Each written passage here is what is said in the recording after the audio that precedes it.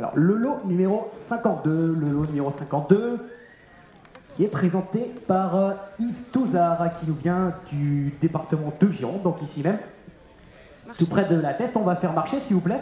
Euh, la pouliche, elle est nommée Gazella de Brion. Pouliche donc à 50%, euh, de sang anglo-arabe. Une fille de Dahab, un pur sang, lui, un pur sang arabe plutôt.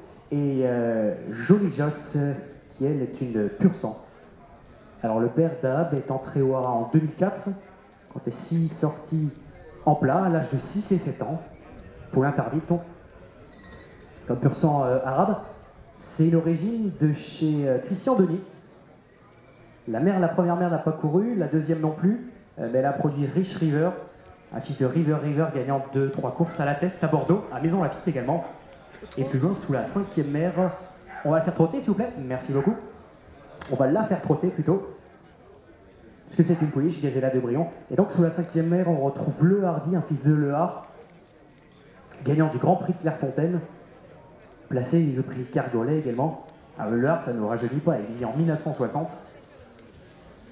Et on retrouve également euh, Amaco, un gagnant à Argentan à l'âge de 3 ans en 1972.